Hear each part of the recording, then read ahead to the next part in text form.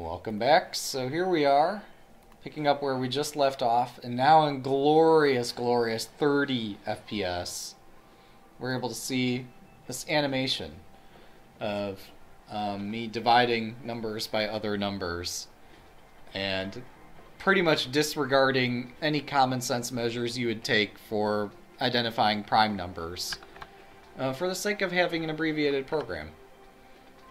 Um, but yeah, things should look more beautiful now. So we see that my loop iterator goes up to 3 here.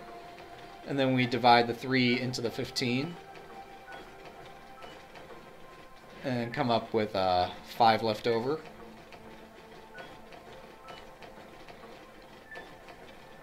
And then we have to increment our loop iterator up to 4 and then up to 5.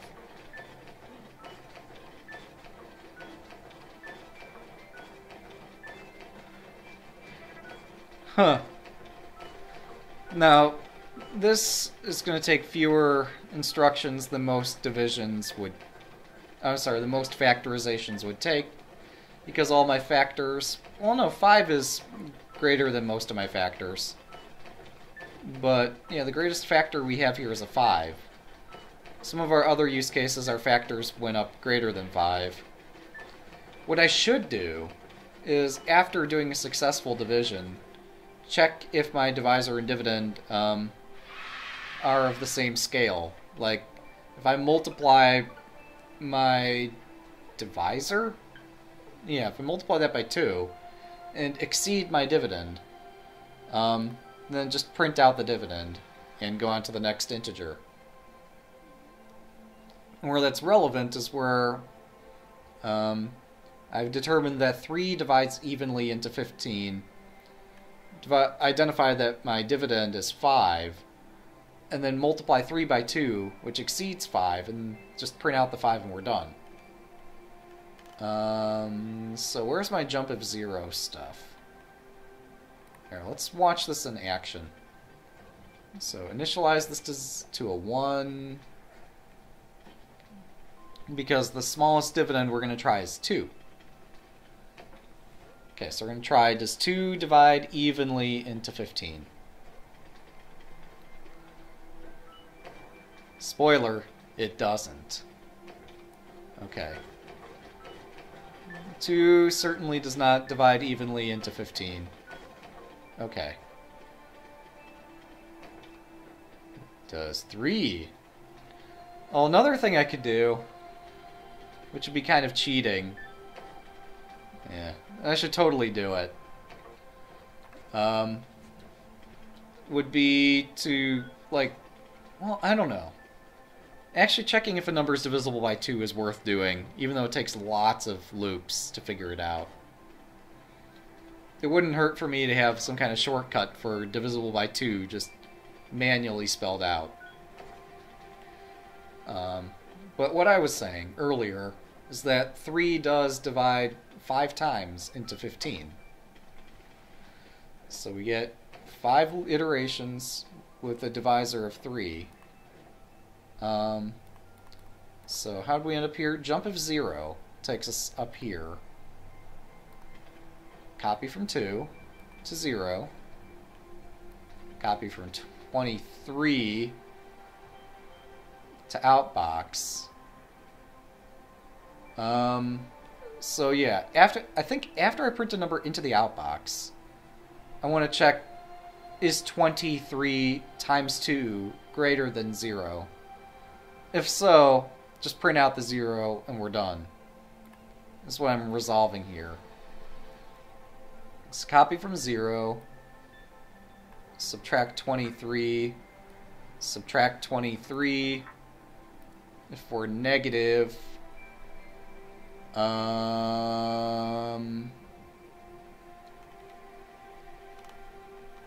for negative, jump somewhere. Uh, yeah, yeah, yeah. Actually, I want to do this the other way around, don't I? Damn it. Read 23, add 23, and then, yeah. Um, Let's back these few instructions out. So, read the 23 and add 23 to it. Subtract the value in 0. If we're negative, then carry on. Um, otherwise, do I need a case for if I'm ze uh, zero here? I do. Um, damn it. If we're zero, keep carrying on. That seems highly unlikely, but it's possible. Um, otherwise, we need to copy from 0 to outbox and then jump back up to the beginning. The beginning being this here.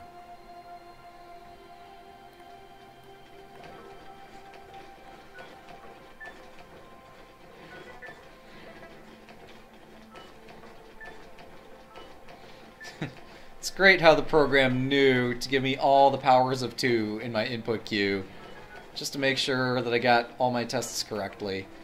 And to confuse as much, cause as much havoc as possible, frankly. Oh gosh, damn it. Wow. Okay, so... Yeah, that all worked just fine. But the integer 2 itself was a problem. Oh, wow. Okay. Um, so prior to all of this, I'm just going to add a check in manually. Is this literally the number 2? Incredible. They found the one use case that would break my code. I mean, this works for other use cases, right?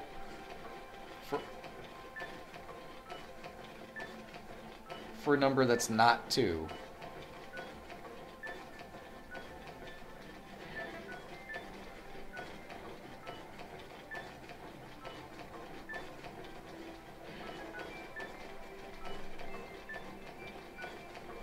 So 2 does not divide into 5. 3 does not divide into 5. Oh, hang on. Hang on. This is even misplaced anyway. Back up a bit. By a bit, I mean back to, like, where... Yeah, where we had started, basically. Uh, copy from 0, sub 19, and so forth. Okay, so our, our back buffer is cleared at this point. We're back at the same state we started from.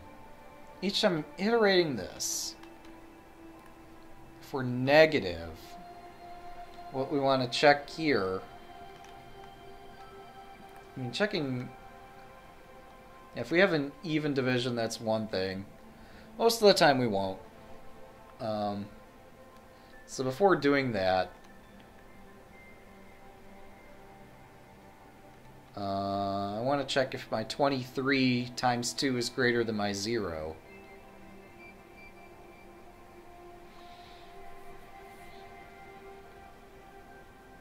Where can I check, most efficiently check this?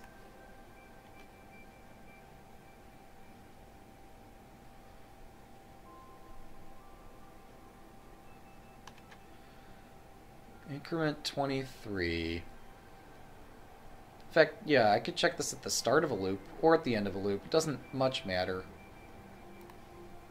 Oh, wait, what's our other path into here? Okay, so I could even do this if I wanted. Um, okay, so if we're negative, then read 23, add 23. I'm doing this wrong again. I need to instead read 0 twice subtract 23. I want to have some kind of jump if negative at the end of this, is my point. Now, if I take this number, add it to itself, and then subtract the 0, yeah, that's in fact what I was trying to do the first time, and this is the right way to go about it. If 0 exceeds twice 23, then we do jump uh, and proceed as normal. Otherwise, we just copy 0 into the outbox, and we're done.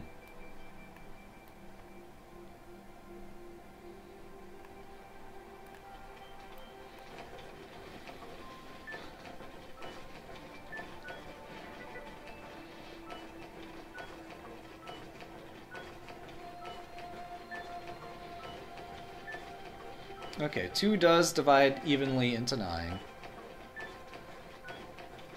3 does divide evenly into 9.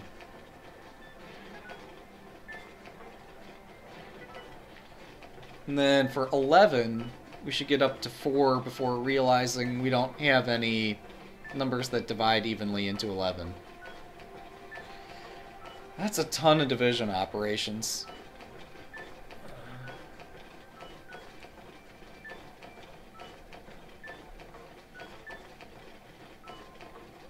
I'm sorry, we get up to 6 before realizing that.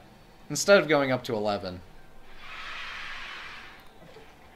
We're still at 441, which is our new personal best here, but... Yeah, having a specialized am I 2 or am I divisible by 2 routine would be a good thing. Copy to 0. Um...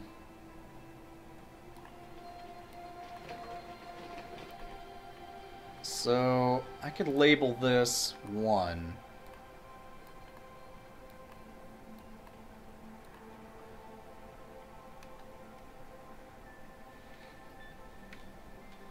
Um, let's copy that to 2.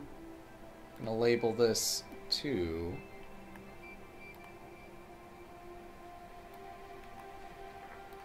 Then we're going to have a special routine for am I 2 or am I divisible by 2. So subtract 2.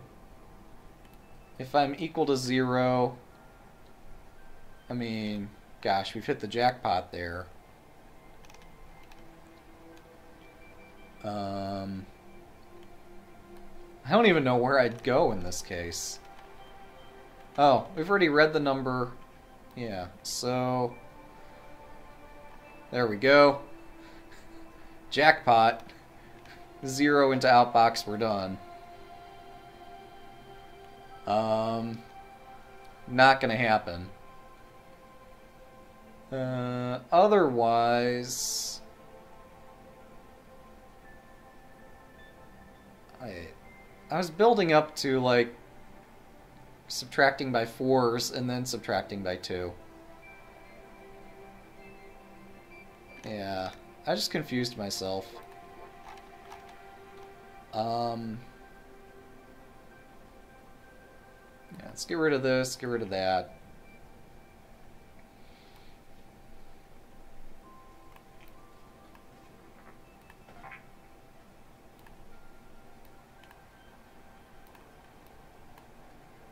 Wow, you could see there's that little stroke in the middle of that where there was a blot as I was drawing that four. That's because my mouse released in the middle of me drawing that. Um, okay, so...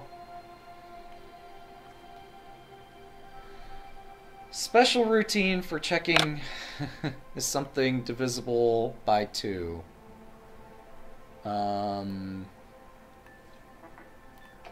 it's gonna be kind of involved.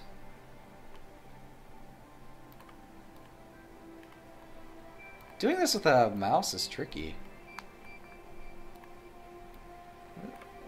I mean, goodness. I feel like I could freeform that with a pen fairly easily. I don't like how that looks. It looks like an hourglass. You saw my other stream. Maybe you didn't. Maybe maybe you caught it in my video on demand or just didn't catch it. I spelled out the word 8 as E-I-G-H-T, so I wouldn't need to worry about this.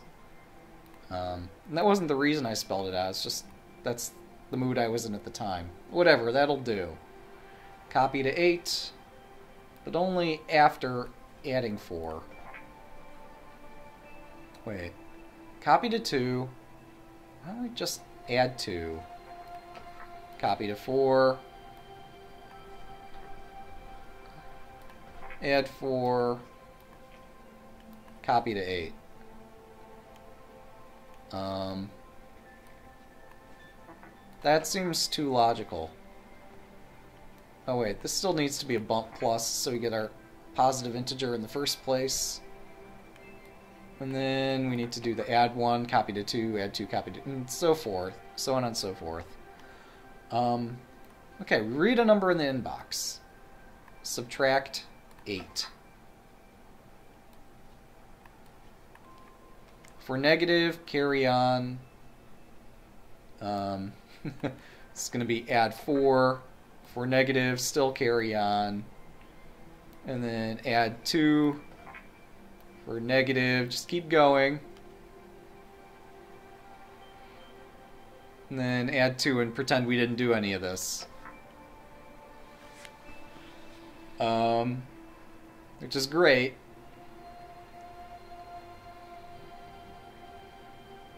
Wait, do I need to do anything more than that for my special am I divisible by 2 routine? Uh, yeah, so if I successfully divided by 8,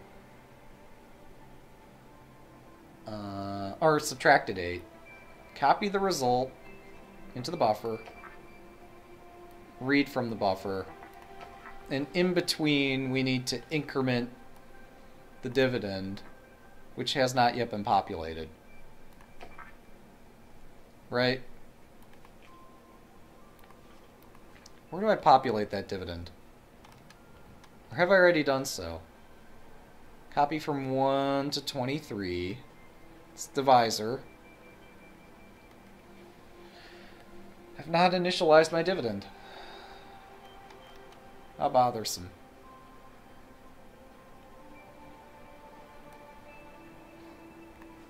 Copy from 0 to 2 was my dividend, right?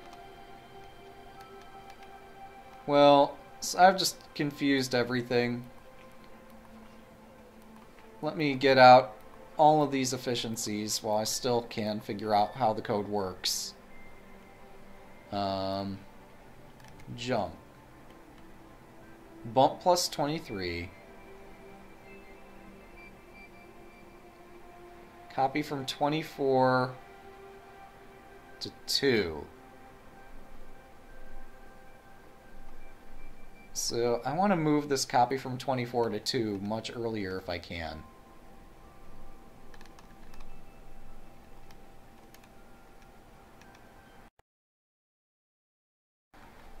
Hmm. Otherwise I won't be able to fan into this logic.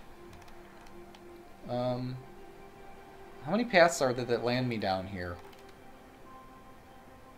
Copy to zero, jump. Takes me past all this stuff. This unconditional jump gets prevents us from accidentally falling through.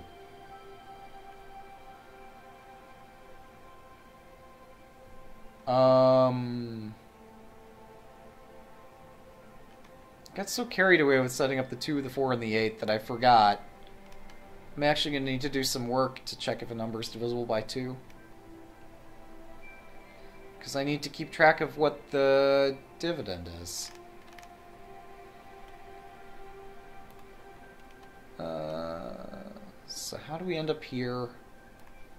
Only way we end up here is if we jumped if negative and had to increment um, the number, the divisor. Let's call this divisor.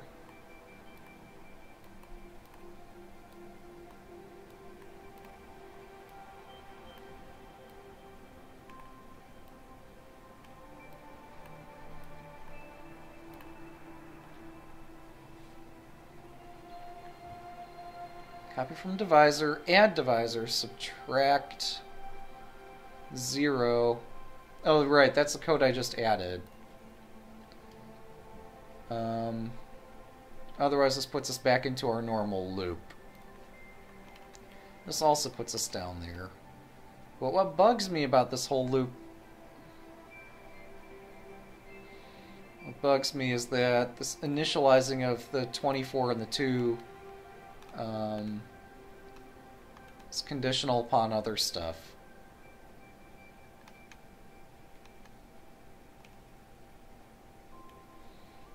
Um,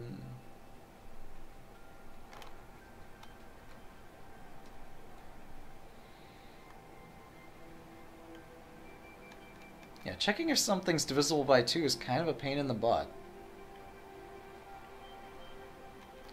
So all this logic I wrote is going to need to be conditional. Oh my gosh. Okay, so if my divisor is equal to 2, then I want to do some special stuff down here. Um, this does not give me a warm, fuzzy feeling at all. So if my divisor is exactly 2, do some stuff. Otherwise, add 2, and keep going on. But if my divisor is 2... Wait, copy from 24 to 2. So I'm not even doing this in the right spot here. 24 to 2. Um... Sub 2 for... Ay, ay, ay, ay, ay. for equal to zero, that's the case where I want to do special stuff. I can put that special routine anywhere. Um, but sadly, all I have is a jump if negative instruction. Uh, how do I use divisor? I subtract divisor. I copy from my add, I copy from... Oh, I do put the divisor sometimes into the outbox. So, divisor does need to be positive. Alright, so we initialize the dividend here.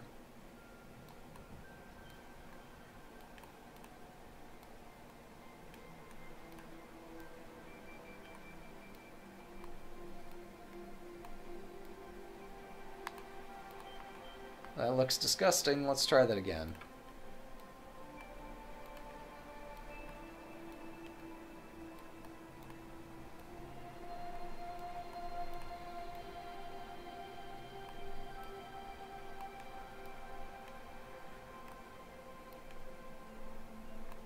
That looks acceptable. So we initialize that to zero. I could actually just call this 0. Assuming I can spell and read my own handwriting. Z E R O. Zero. Okay. Copy zero to the dividend. Um, now, before we... Well, yeah, in fact, here we could check. Um,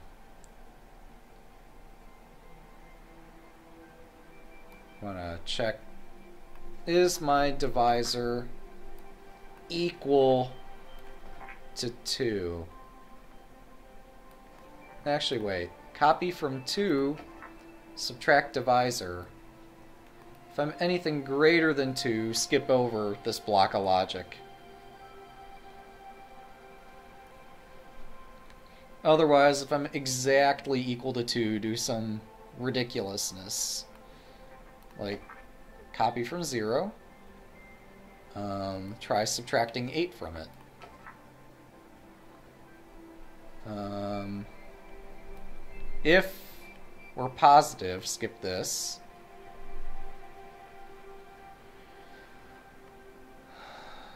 Else, yeah, if we're positive, then we want to increment our dividend by 4.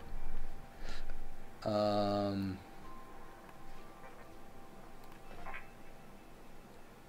copy from dividend, add 4, copy to dividend.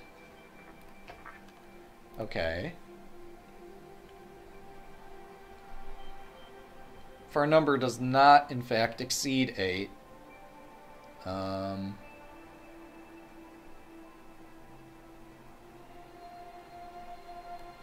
then we're going to add 4. Otherwise, we're going to jump over this add 4 and check if we're still negative. Um, if we still are negative,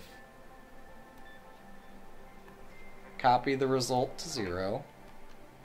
I'm sorry, if we're still positive, copy that to 0. Um, and then copy the dividend, increment it by 2, and copy it back. Else, check if we add 2, um, do we end up with a positive number?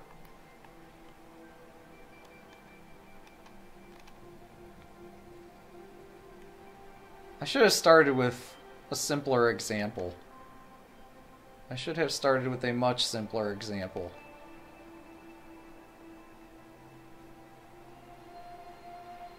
Um... Oh, in fact, yeah, let's do things the way we did in the other problem. Like this. Yeah. So for negative, add 8. Otherwise, um, no, either way, we're going to end up here. For negative, add 4. Otherwise, we're going to either way end up here subtracting a 2. But there's no need to do the subtract 2 literally, because the main loop's going to handle that for us. Um,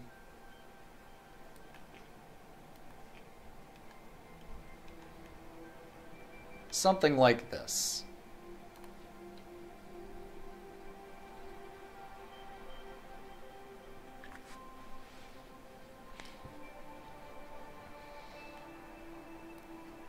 Subtract 4. For number still positive, then yeah, the 4 subtraction succeeded. Copy to 0, increment the dividend by 2, not by any number, just by 2. Um, but to increment that by 2, the most efficient way would just be to say bump dividend twice.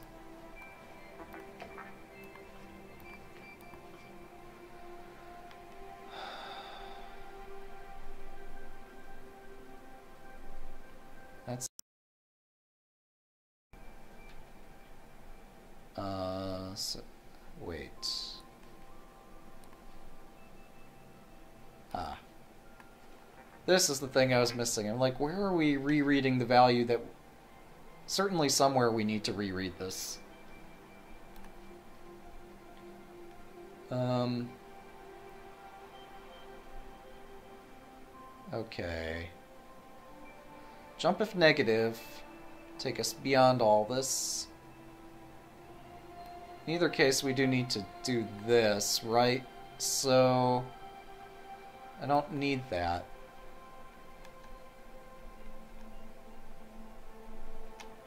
Jump if negative. This jump seems a bit unnecessary now, doesn't it?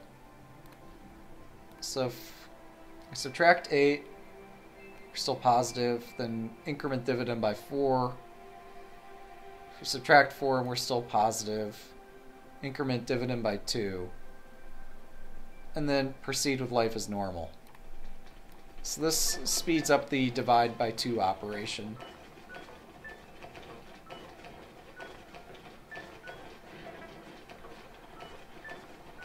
The downside is that every time I have a new divisor, I need to check if that divisor is equal to 2. Uh, that wasn't the number he wanted.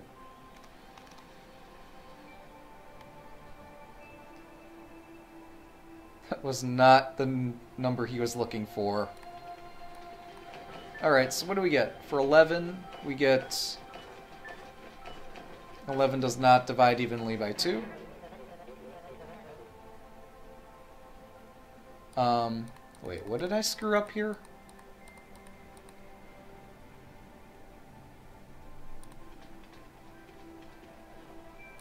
Negative 1. Dividend is 6. Okay, copy from divisor. Add divisor. Oh. That's a problem now, isn't it? Um, yeah, so before I can do said comparison, um, I need to be sure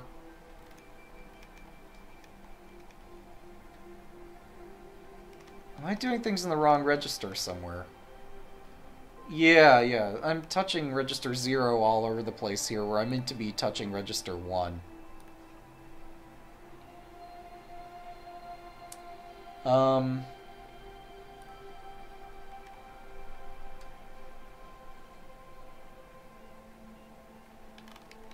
How does this work? Copy from that so zero is my original number in all cases. I'm never writing to zero.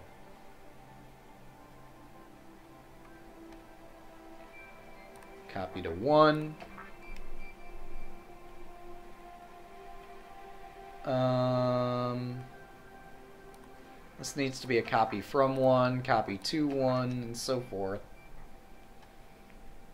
Um, but now here where I'm doing my initialization, that's screwed up now. Alright, so... All this copy to one business. Aye, this is a mess. I can only do what I'm doing if I evenly divide. Um...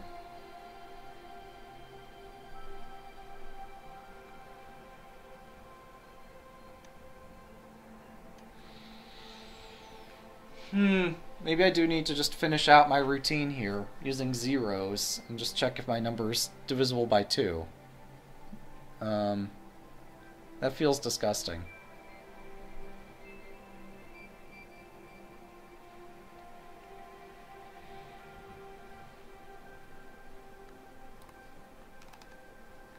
Wait, no, I can add another jump here. It says if our divisor was 2, we can skip over the initialized step and just get directly into subtracting the divisor. Uh,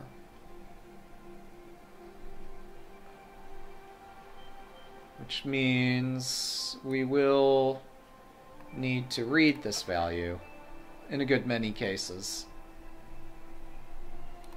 So read this one, subtract the divisor, copy to one, and so forth. Um, copy from one. What if we're equal to zero? What if we actually successfully figured out... Um, I don't know. Put us down here somewhere. Where does this take us if we're equal to zero? This takes us back up to copy from dividend. I guess that makes sense.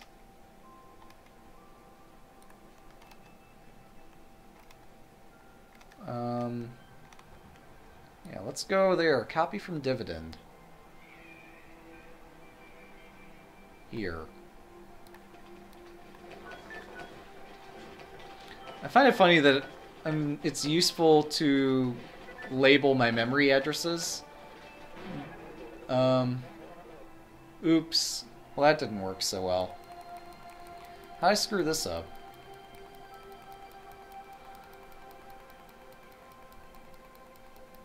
Okay. 10. Subtract the 8.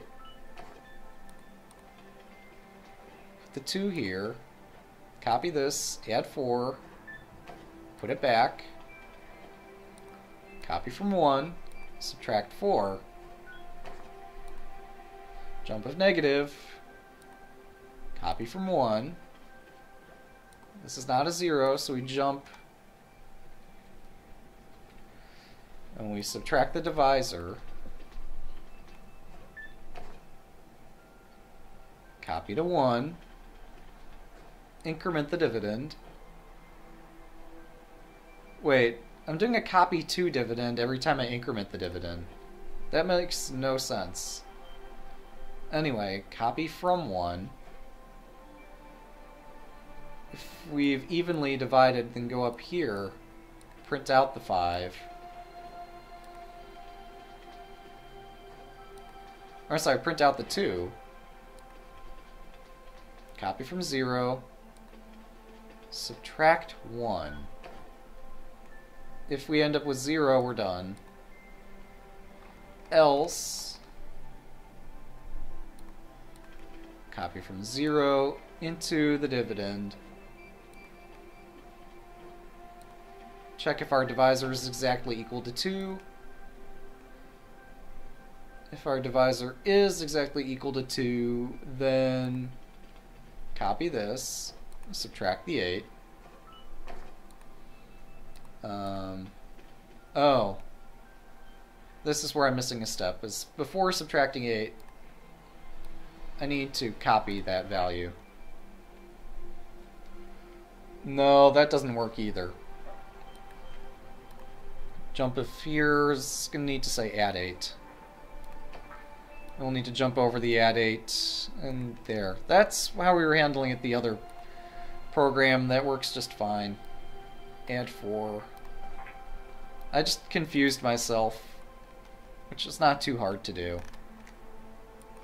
Alright, let's try this. Checking if 13 is divisible by 2. No, it's not. Checking if 13 is divisible by 3. Nope. Um...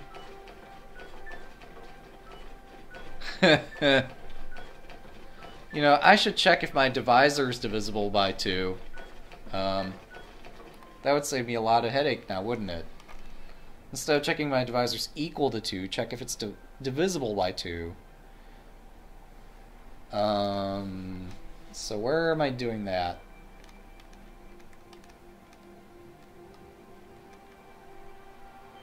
Uh, actually... Wait, no.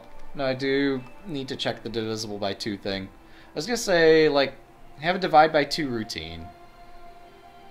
Do all that special stuff. Um, and I'm accounting for most of that here, in fact.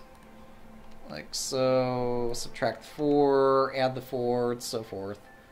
Um, then jumping over this, we're handling the 2 use case. Um,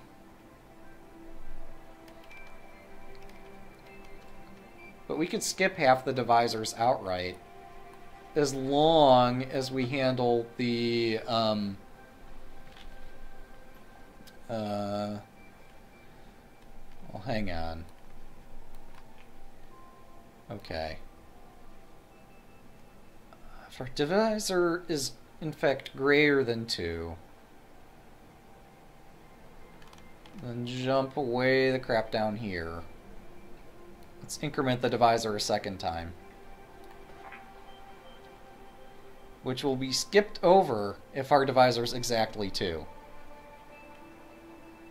There, that's how you save like half the iterations in a program. You skip half the divisors.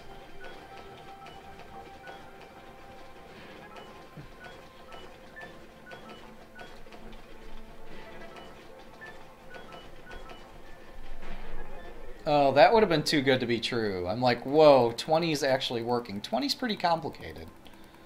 So where did I mess up here? Okay, we have to print out the 2 again. Copy the 0. Subtract. Check if the number is exactly 1. It's not. Jump down here. Make our dividend 0. Uh, check if our divisor is exactly 2. If our divisor is exactly 2, uh, copy from 0. Subtract 8. That does not divide. That failed, so add the 8 back. Wait. Uh, why do I have copy from 1? Why do I say copy from 1 here? Did I not say copy to 1 at some point in this? Yes, I did, but conditionally. Um, subtract the divisor. Checking... Yeah, so read this... In, I can't immediately copy this 5 into the 1 slot, though. Because that's inaccurate. Uh, ay, ay, ay.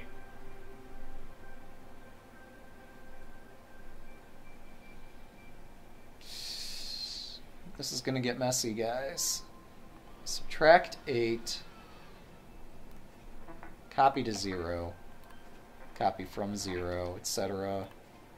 Okay, we're going to do this all with memory slot 0 there. Um,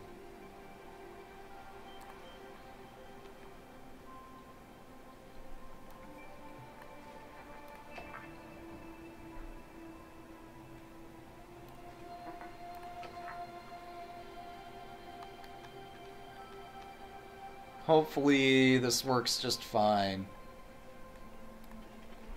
Alright, I've given up on trying to troubleshoot this. We're just going to let it run and handle the errors as they come up. Which is a terrible way to program, but it'll work.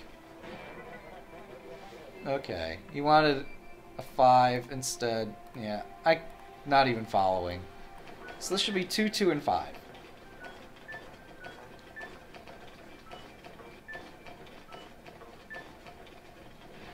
There's our two. There's our two. That's not a five.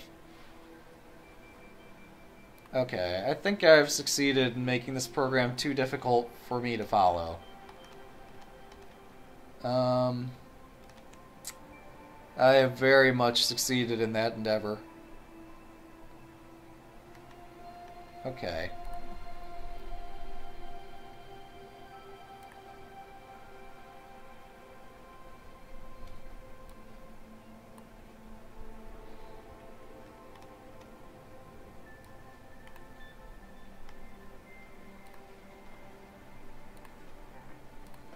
This stuff about writing to zero is now going to be back to writing to one. Um, let's try that.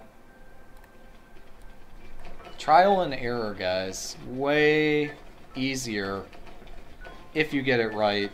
Way harder if you get it wrong. Way more fun in any event, because you get to see this guy animated now instead of hearing me babble on.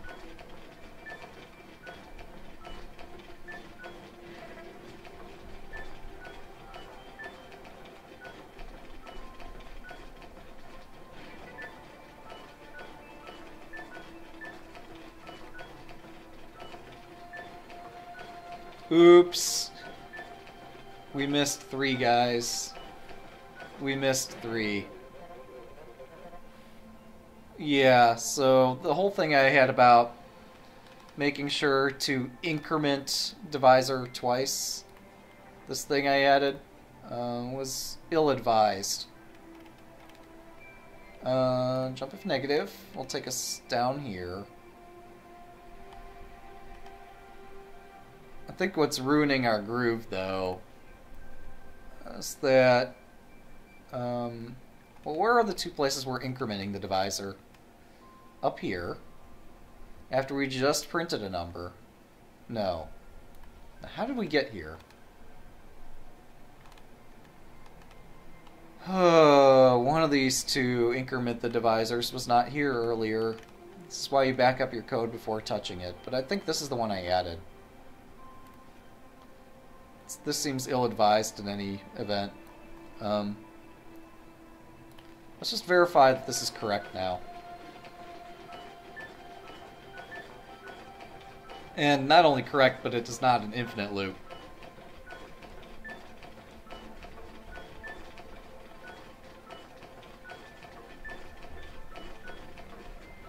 I could add a check that says only doubly increment the divisor if it's not. Um, well, there's all kinds of ways I could make sure to get all the odd numbers plus a 2. The simplest would be start the divisor at 1, and then if it's exactly equal to 1, increment it immediately. Um,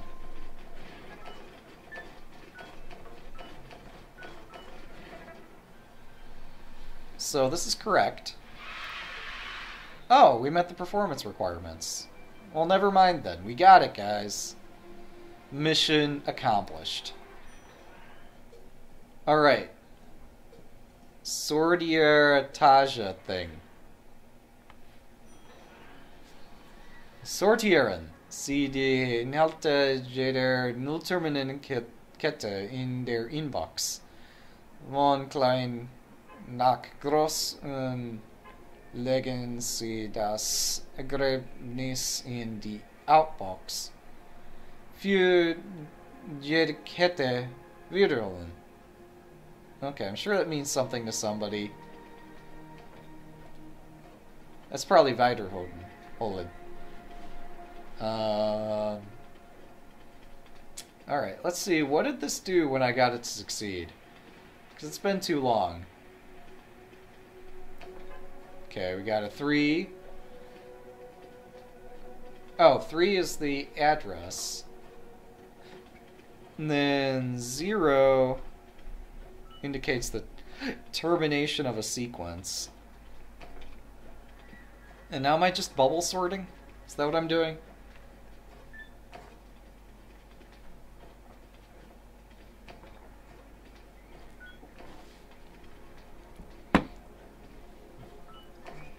This is bubble sorting.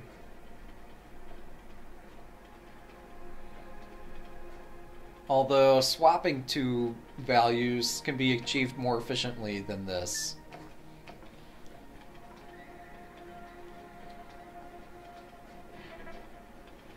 Okay. Yeah, I think this is just wanting the values sorted. Wait, do I know that it's a number, then a string, then a number, then a string? Is that a thing that I know? Um, also, was there not a simpler problem where I did end up doing some... Oh, that was with a much more restricted domain of values, though. I was gonna say, like, could I do things with hash tables? Dear God, I'd better not do this with a hash table.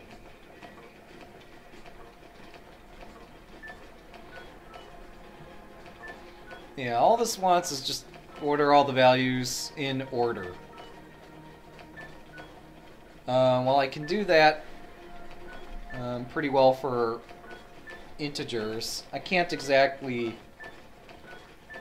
do my swap magic um, for a letter. This sequence of multiple steps to swap values is the most efficient arrangement there. Um, so probably what needs to be done, largest sequence is 10 values. There are 24 registers. Probably what needs to be done is uh, pointer math. And rather than moving the values themselves around, just move the pointers. Sounds simple, eh? Um, it's going to be beautiful when it's done, though, so I can't complain too much. But yeah, this sorting takes a lot of steps, doesn't it? This is, I think... Yeah. Whatever. That's insertion sort. Um, yeah, that greatly exceeds the number of steps that they want you to take. Okay, what was my first attempt here? Oh, just read in all the stuff, keep count of how many things we read. Okay. I'm going to assume there are at most 10 items in the sequence. Um, so after we read everything, I'd rather not have 20 be my counter of how many things there are. Well, I suppose it doesn't matter. 20's fine. Um copy from... Yeah. I'm just gonna have some more pointers down here. Actually, let's make these 21 and 22. Um... Alright. And then... I need a 10. Um, good gravy. Getting a 10 here is going to be expensive. Um, Alright. Copy to 23. I'm going to call this 10.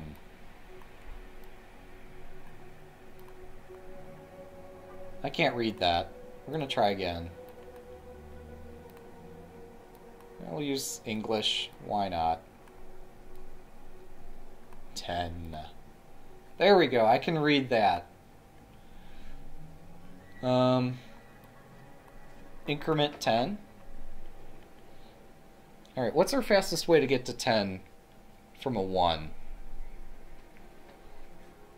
Um, I could bump this 10 times, but that doesn't seem like the fastest way. I could bump it 5 times. Okay, bump it twice.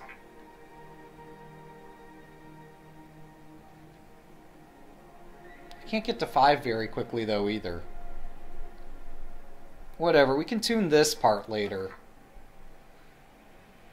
Um, maybe we can't. Yeah, whatever. Four, five, and then add 10 and copy to 10. So there we go. Um, so the next thing we want to do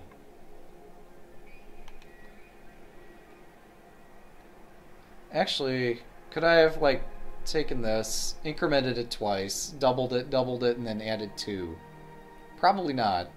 This seems fine. Um, okay.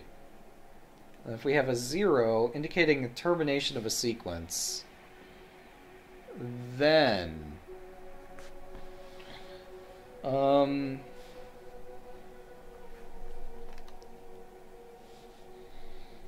oh wait, these are these pointers 21 and 22 are going to be whatever.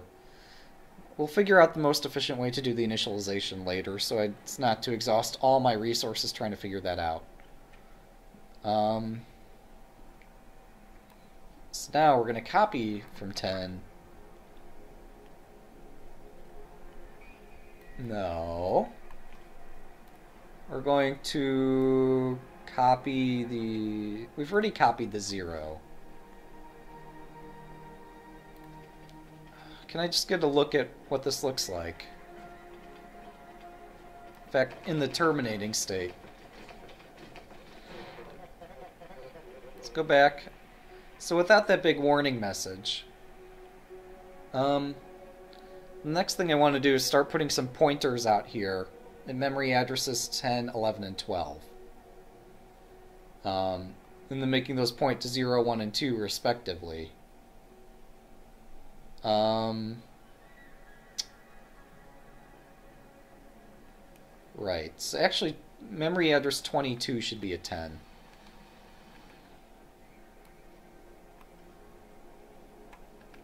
Alright, and then as I'm incrementing the number of elements, um, 1 plus 20 is my element count. Copy the value of 20 into the address pointed to by 22. Bump plus 22.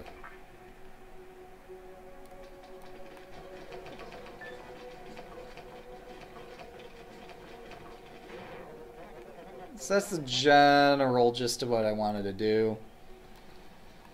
But in a slightly different order. Zero, one, two.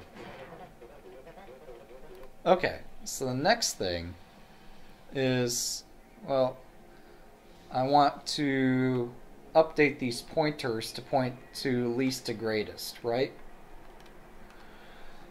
Um, uh, I still haven't touched register 21, have I? Let's put 21 down there also. 21's going to be a 10. Um, Um,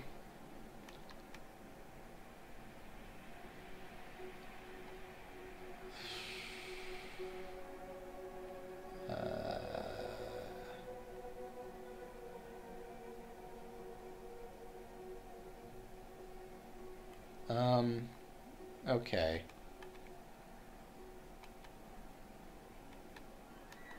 So now how do I keep track of my element count?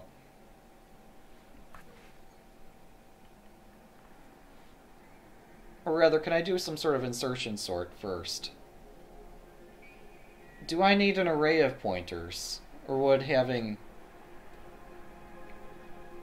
there could be equal values in my collection.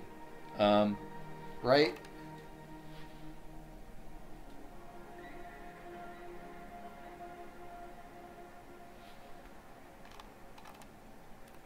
Let's take a look at some example data and see if there's any duplicates in these examples. Surely there are uh, duplicates contained therein.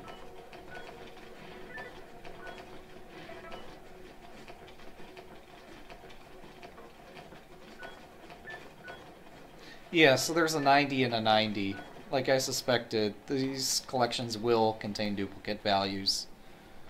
Um, but no, one thing I could do uh, is if I've already printed a value, overwrite it with um, uh, I still need to identify the minimum element first. Yeah, maybe my array of pointers is a good way to go. My idea was then, next I could iterate through my array of pointers and just print them out in the order I encountered them. We'll save that for another time.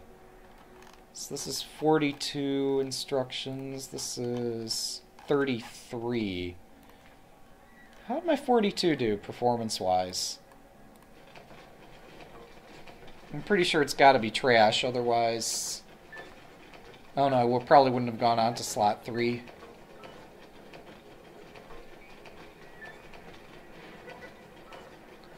Wait, is this the sort of thing I was just discussing potentially doing? This is exactly the same idea I was just discussing. Um, where I'd identify the minimum value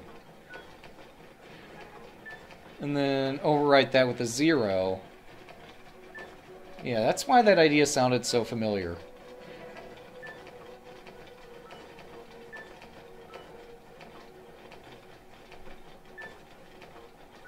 Um, I don't know that that makes it a bad idea. Because it's a reasonable algorithm, right?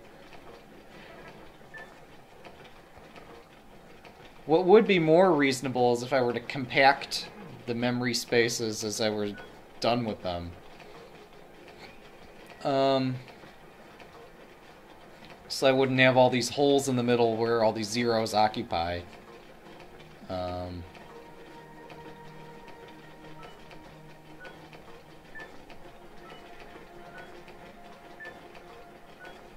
like I could take the number at the end of the sequence. Oh, gosh darn it, that's called a heap. Oh man. Yes. This is exactly what you would want to use a heap for. So, you see where I'm putting a zero in the middle of the sequence. I should take the um, the value at the end of the heap and stick it in there. Um, put it in the place where the zero is occupying. And that way I won't need to fill zeros anymore. Um, there's no need for pointer math either. What's killing this, I think, is just the number of times he's cycling through elements that are already zero.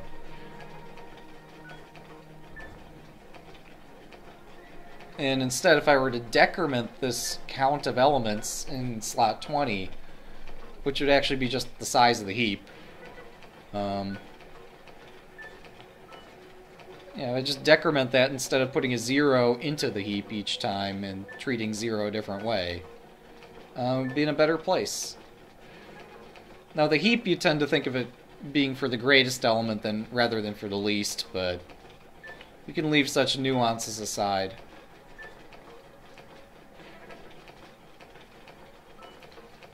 But yeah, look at the number of times it's trying to compare uh, elements here, looking for the smallest element, and so many times encountering zero values in this heap. So my approach is going to be clean out the program I just created in the first program slot, copy this on top of it, and then fix my damn heap.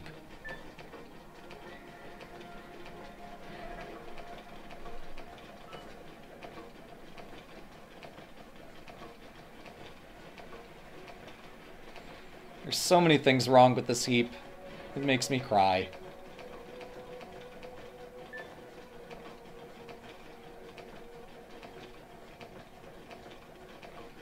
Man, he is getting a workout. Or she is getting a workout. Just look at that workout. Incredible. Yeah!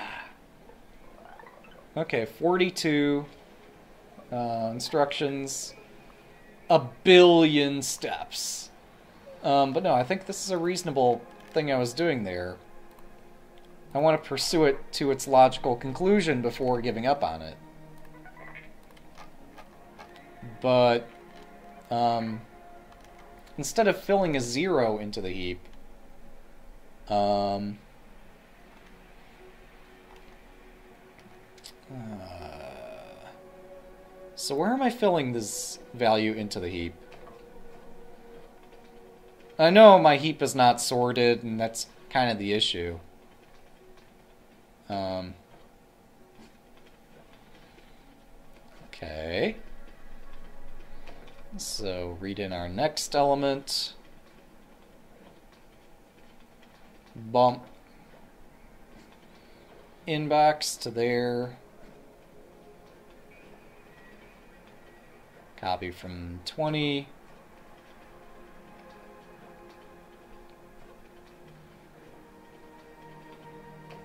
Alright, so I'm in each case trying to identify what's the minimum. And if I find a minimum, put that in. A swap operation would be even better. Actually, bubble sort would perform, which outperform what I'm doing here. Just sad.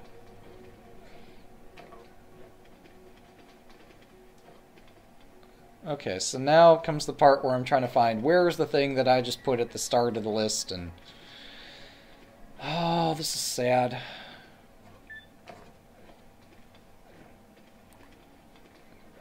So wait. Um, so we identified it. Copy to 21. Yeah, we don't want to put a zero there. We'd rather take the final element, uh, in this case the one at index 3, and put it in that slot. Um...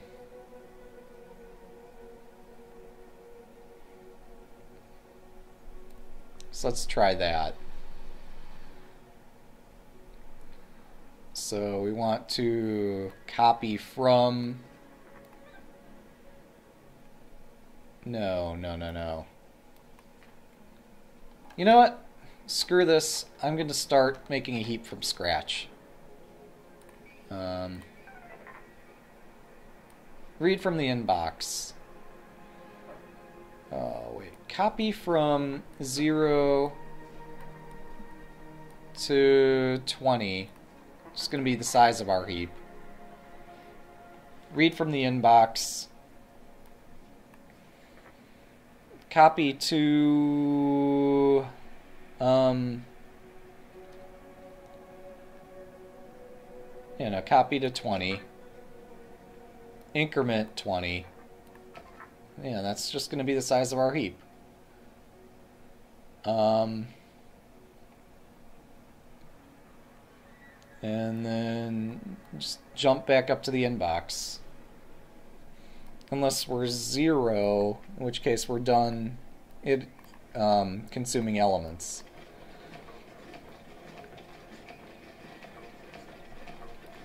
Wait, how did I end up... Oh.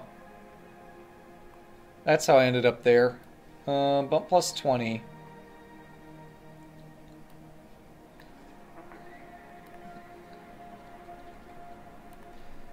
Still want to increment 20, but whatever. Um...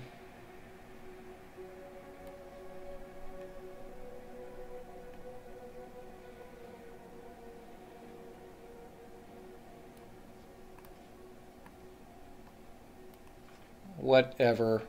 That'll be fine.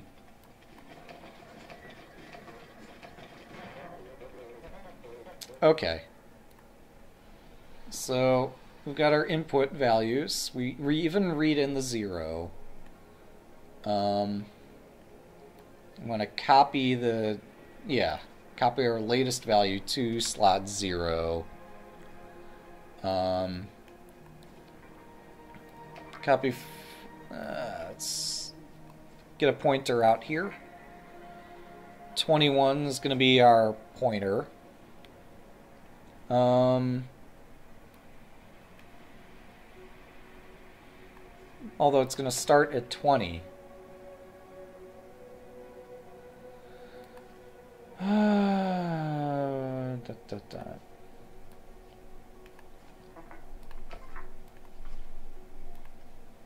So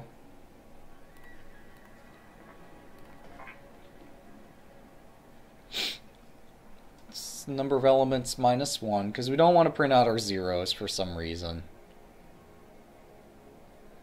Um,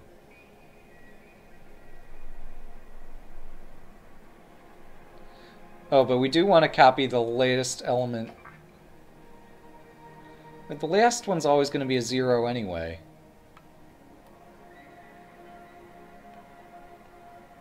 Uh, jump of zero. There we go.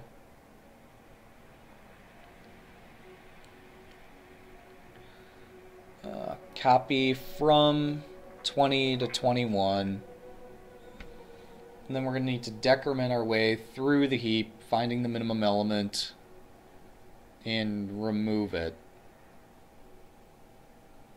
Um,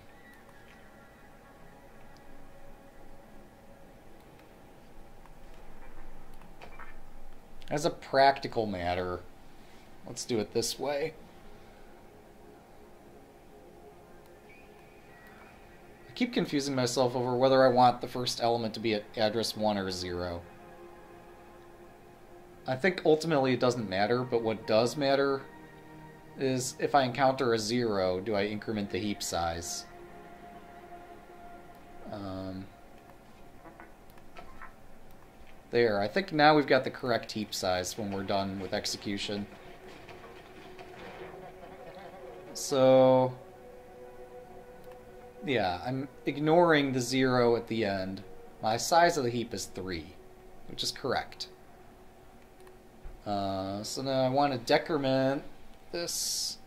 Copy to 21. Copy from the value at address 21 to 0. And then do a whole bunch of iterations where I decrement the pointer, read the value, um,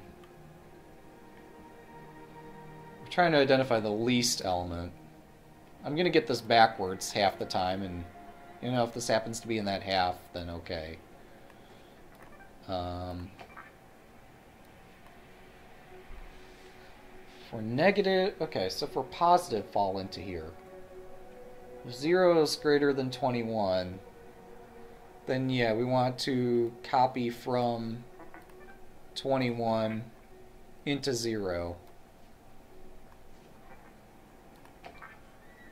But also, we want to keep track of what's our pointer to um, the minimum element. That's what I failed to do last time. Uh, so I'm going to copy directly from 21 to 22. Um, just call this P.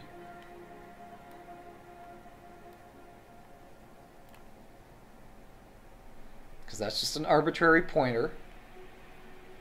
Uh, we'll call this C, as this is the count. And we'll call this M, as this is the address of the minimum value.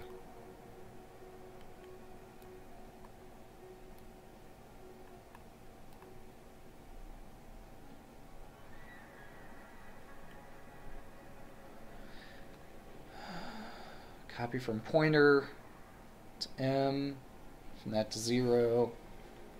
Actually, do I even need an address 0? No. If I've got a minimum, yeah, I don't actually need the 0 there.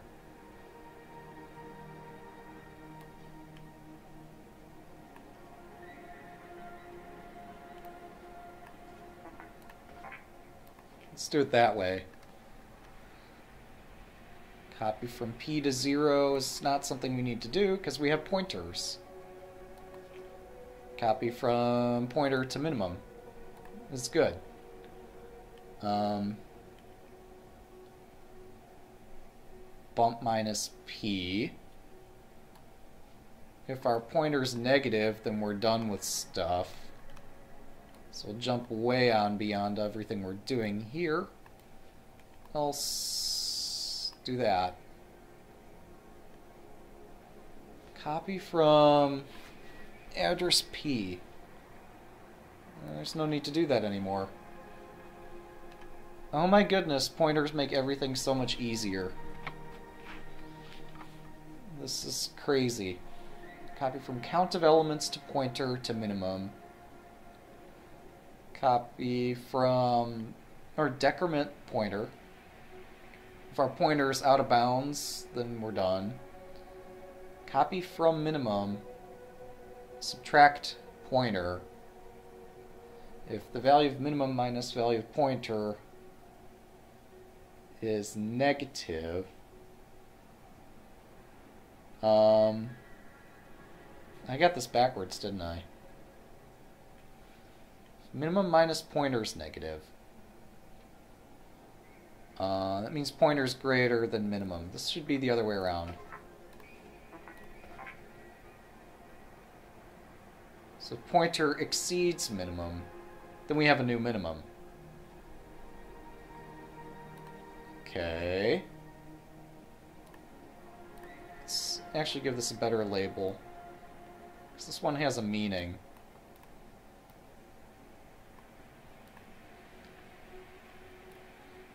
This also has a meaning, although C tends to generally mean count uh, in C++. just by convention. But who doesn't like descriptive labels? P is just a pointer. Min, it's pretty clear means minimum. Okay, so if we hit the condition where we've iterated through everything, um, then we want to copy from the value at address minimum to outbox. And then we want to copy from the value at address count into address minimum. No, yeah, into our selected address. And then we want a decrement count.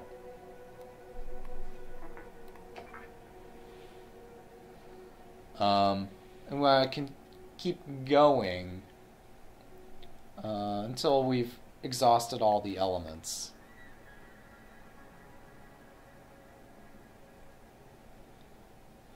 I'm certain I'm getting this wrong, and this just probably should be a jump of negative instead of a jump of zero, but whatever. Go back up to the top, reset our count, and so on and so forth. If we're not negative, uh, where does our loop begin? Oh, right, so we just decremented count. Uh, so there. That's where we go. But, um, copy from count to p and min. Whatever. This is a pretty simple program. But this just demonstrates the power of pointers if I did it correctly. If not, it's entirely my fault. And not the game's fault. Unless I happen to do something that actually proves that the game is wrong. Which, what are the odds?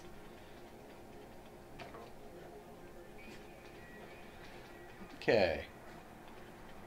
So our heap size is 3. 3 is going to be the address of our minimum. So now we're going to check Oops. Um.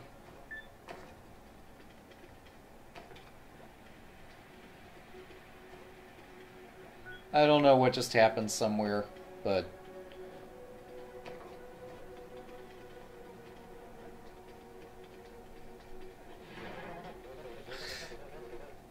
that was horrible. That was horrifying, just how terribly I got it wrong.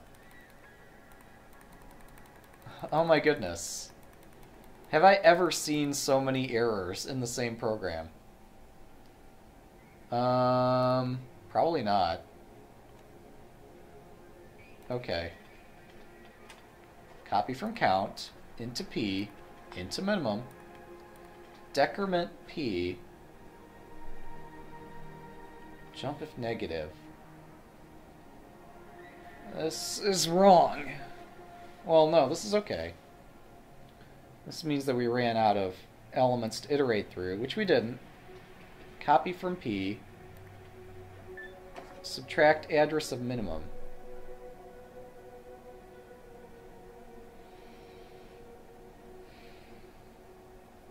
Uh, I mean, that's wrong. Because minimum should also be 2.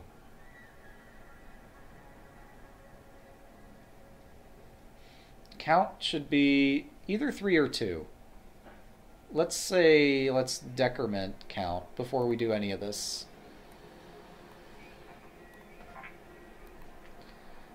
And then as we're iterating, save this for last.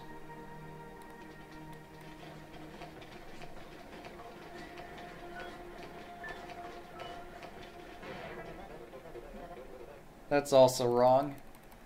How am I managing to get things this badly wrong? Okay, so... One.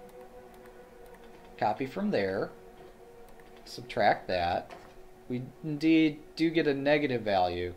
I said I can get this backwards half the time, and I got it backwards. That's what happened.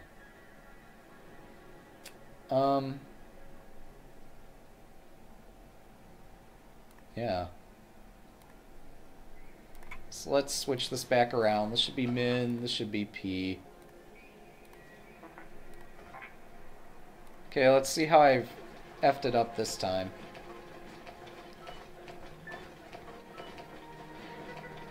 Oh, check that out. Oh my goodness, did I just implement a heap inside Human Resource Machine?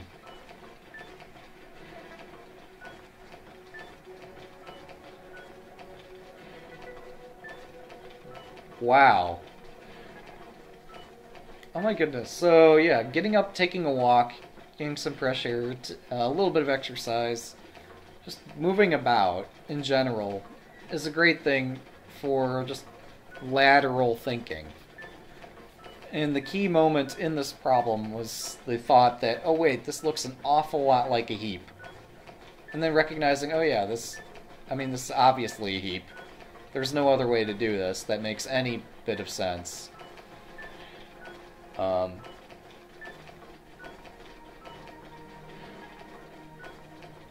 so the only other thing I could save here, I guess, would be just don't put the zero into memory, like into the slot 10 here. There's no need to have the null terminator actually loaded into memory. Um, so I could save a couple cycles there. But in general, yeah, heap is a really efficient data structure. Uh, could possibly also improve the end condition. Like, if there's only one element left, just print it. But yeah, this is miles better than my 2000 step program. Or 2000 clock cycle. Okay, so this game does expect some more improvement, and I'm okay with that. Um, yeah, so putting that there is only going to save the slightest bit. How do I further improve this heap?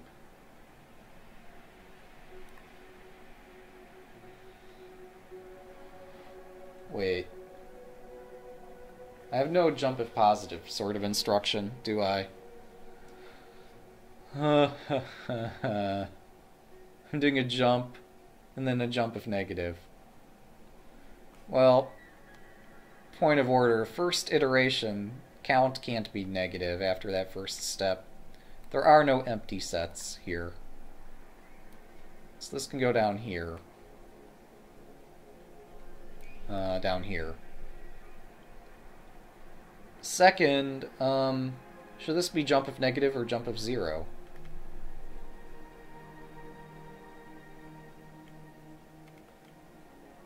I don't know.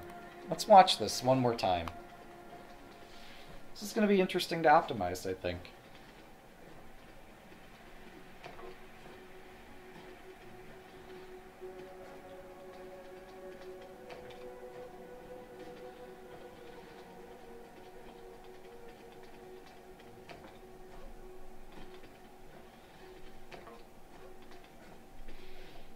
Okay, copy from minimum into P or sub P.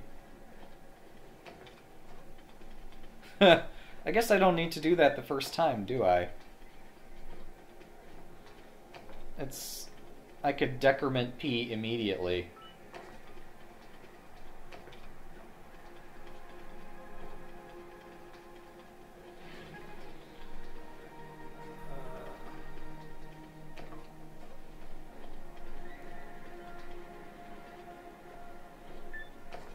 Yeah, there's no need to check an element against itself. So, where was this jump happening? This is if we're not negative on the element count, copy the number of elements to P and to minimum. Um, and then we're going to want to decrement P right away.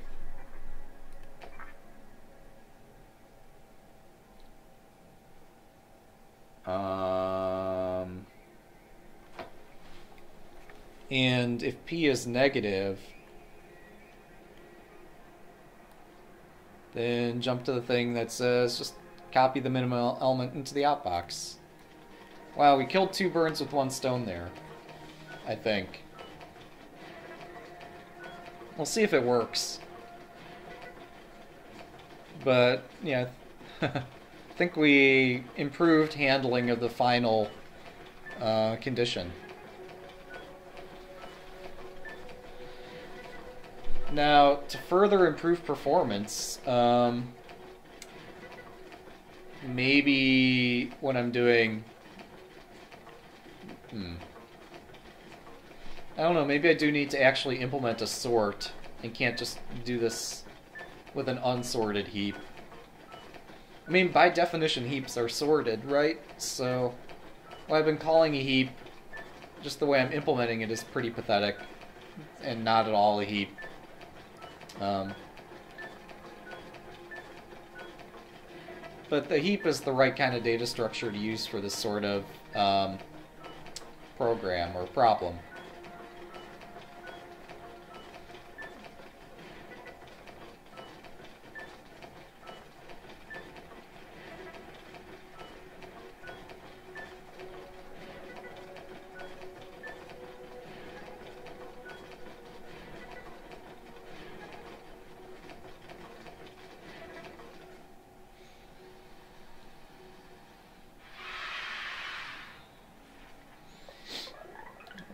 27 instructions. Oh, wow! Holy crap, guys, we did it. I thought there was going to be a lot more room for improvement, and there probably is. But, yeah, we met the goal. Impressive. We got it, guys. Alright. With that, we'll take a break.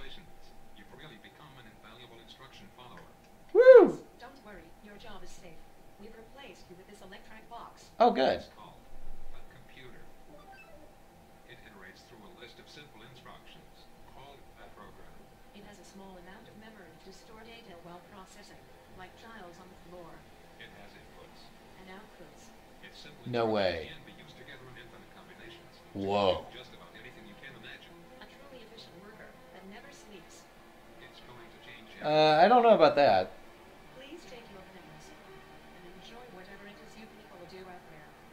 Oh. Congratulations. Nice. It's nice how they even spelled congratulations wrong, and we're missing a letter. Um, but yeah, we'll take it. Guys. We have succeeded. In whatever it is that this is. We have mastered assembly code. We have a complete and total understanding of the human resource machine instruction set and how best to use pointers um, to achieve meaningful ends. And yeah, it took me some time until yesterday, really, to appreciate that just tearing things apart and starting anew often can um, achieve greater creative results than trying to fix a program that's just not doing what you want it to do.